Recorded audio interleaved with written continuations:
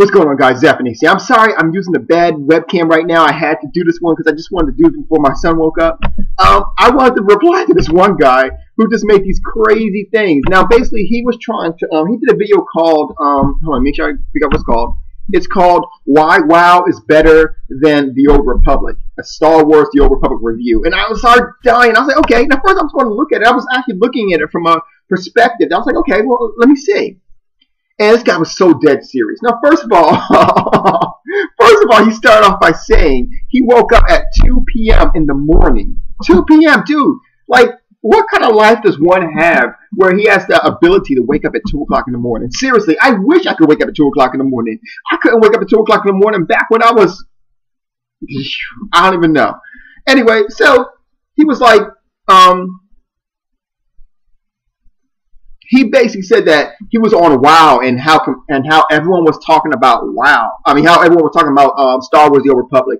He was on uh, um, WoW all the time. Everyone's constantly talking about it in this party chat, in this guild chat, in the battlegrounds. If everyone is talking about this game, if this game is gaining some a lot of momentum, and even in its rival game, that automatically goes to tell you, well, damn, dude, maybe this game got something going on with it. But then he says uh, this. He says, if you kill the um he said that he killed the first boss. Like he said that they weren't talking about the new stuff or the cool stuff that World of Warcraft had. For example, the new raid where um, you can actually kill the boss. And he said that he killed the boss in the first day. Dude, if you killed the boss in the first day in the raid, it wasn't a very good raid. You know, it wasn't a very good raid at all. You know. Then he also mentioned that the other other thing that they had was an um was a device that allows you to change your armor to make it look like any other armor that you currently have or had. Um that device is actually already in EverQuest as well as DC Universe Online. It has been there for quite a while. In fact, it was in DC Universe Online at launch, actually at beta. I don't know what you're talking about, dude. That's not a new idea at all. Um, let's see. So, question: How is WoW the best game ever if it's taking ideas from older games and literally just taking them, not even modifying them, just taking them? Um, you also said that you wanted to, um, that you had a, a that you would actually that you played the beta, whatever. How did you play the beta? The beta's over with, dude. The beta is done. It's been done.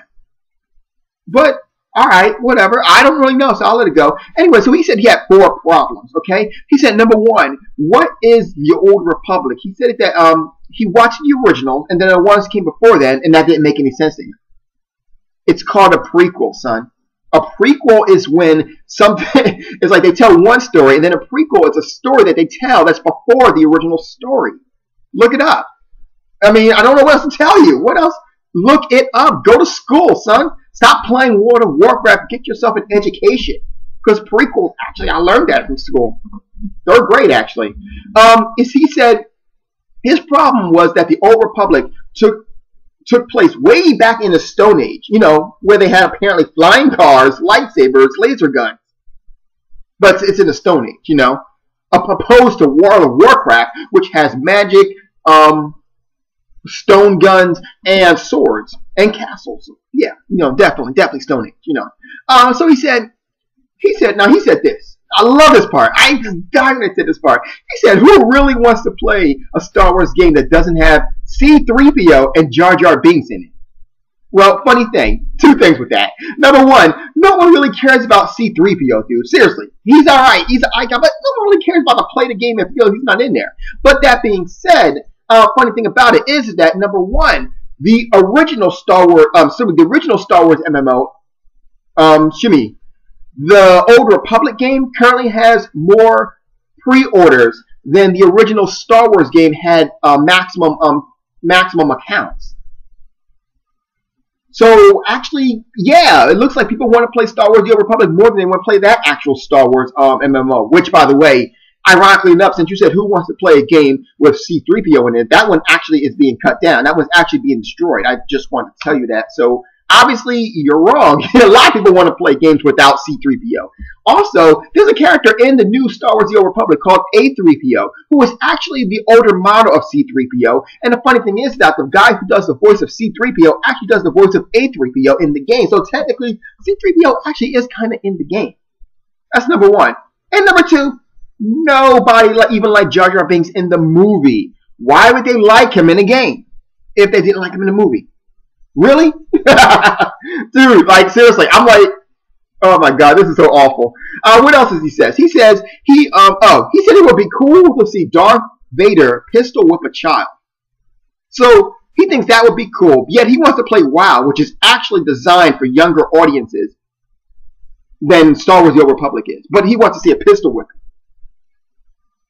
Anyway, just keep going. Like seriously, like it's like beating a dead horse after this. Um, his second problem is that he couldn't. Oh, let me see. He said now he said his second problem, which by the way wasn't the second problem. Obviously he can't count, but he's at home playing World of Warcraft and not actually at school. But whatever. Um, he said that his problem was the game was too big to download, which is funny because World of Warcraft is actually larger than uh this game right here. But okay. Then he, his his next problem is is that um he wanted to know what was in those 20 gigs, uh, and it doesn't make sense. Actually, if you played the game, you would know that Star Wars The Old Republic actually has every single character voiced. Literally every single character voice that um, that has a quest or don't have a quest. You know, anyone who uh, responds anyway. So, long story short, audio files is where uh, all that's going. You know, I'm just wanting to let you know that.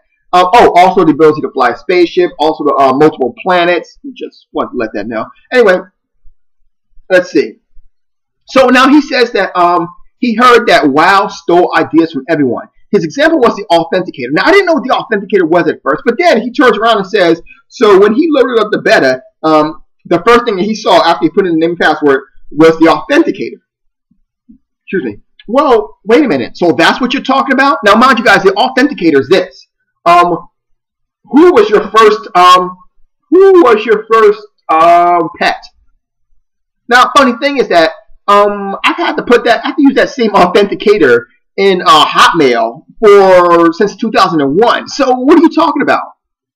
How they steal that idea from World of Warcraft if that idea was already created to begin with? Really? Anyway, keep going, man. He also says that uh, oh, his next his next issue, I love this one. He said that WoW has um, what makes WoW better than Star Wars: The Old Republic is the fact that WoW has a bigger play button than Star Wars: The Old Republic. Then his next issue was that the exit button was bigger than the play. I'm assuming the exit button was the same size as the play button. Really, dude? Like, really? like, that's your best shot? Like, I don't even understand that. Like, I'm seriously trying to understand it, and I don't. Last thing he said was that he said he said WoW stole. Um, he said he said that Star Wars: The Republic stole everything from WoW. And he actually, um, which is funny because WoW doesn't have an exit button. You know, I'm just saying. So, long story short, dude, I watched your entire video. It was painful, but I watched your entire video, all for naught. You showed nothing. You know, I look forward to. I think I will go ahead and eh, never mind. Quite frankly, dude, um, you need to go get. I hate to say this because, damn, son, like I don't even know what to tell you anymore. I don't. I don't. I don't. I never met someone who actually had like. And he goes. He says like, "Oh, um, I had to change my channel because I have so many trolls just trolling me." Dude, the reason why they trolling you because you stupid. You too easy. Like seriously, every single point that you made, I just pretty much smashed. But don't get it twisted. They were retarded to begin with. Your every single point that you did was dumb as fuck. You know, seriously. Yet I was able to go ahead and count. I just, I, I pretty much just um, counted them out and, and counted them just pretty much just because I could. And plus, I want to school you a little bit. Yeah, you was officially educated. I hate to break it to you, but World of Warcraft is by no means original. In fact, me just hit you up in this video. Would you know where Warcraft, World of Warcraft came from? It came from the original Warcraft, of course, but where did the original Warcraft come from? Well, I'll actually tell you. There was a game out there called Warhammer. And Warhammer was actually the original premise for Warcraft. Didn't know that, did you? I have a feeling you didn't. So, yeah, World of Warcraft copied from other things. You gotta have a good night. Zep out.